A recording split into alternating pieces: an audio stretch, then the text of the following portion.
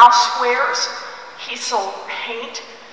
And um, when I was in middle school, the boys were all gone by then. And it was just my mother, my daddy, and me. And my daddy had a massive heart attack. Now, he pulled through, but he couldn't work for a long, long time. And even now, I remember the day that we lost the family station wagon.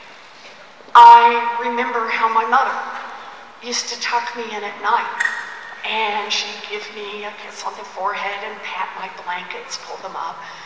And then she'd walk to the door and I always knew what was coming next. She'd give me this big smile and she'd walk outside the door and close it and start to cry. She never wanted to cry in front of me.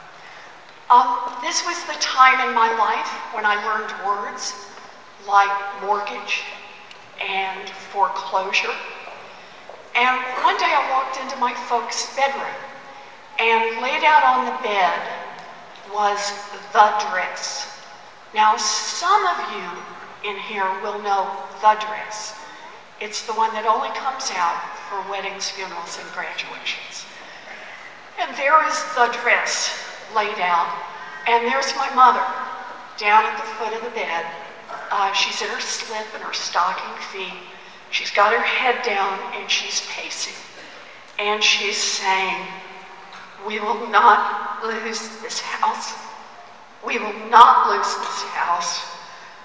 We will not lose this house. She was 50 years old.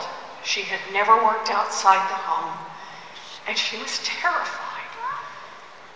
And she looked up and saw me standing in the doorway. I'm just a kid.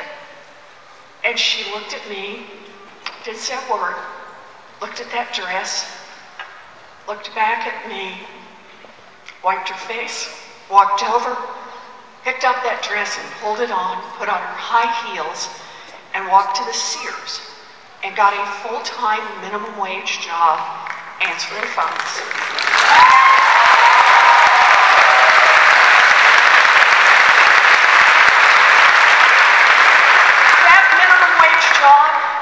Saved our house and it saved our family. And for many years, I thought of this as the first lesson my mother taught me.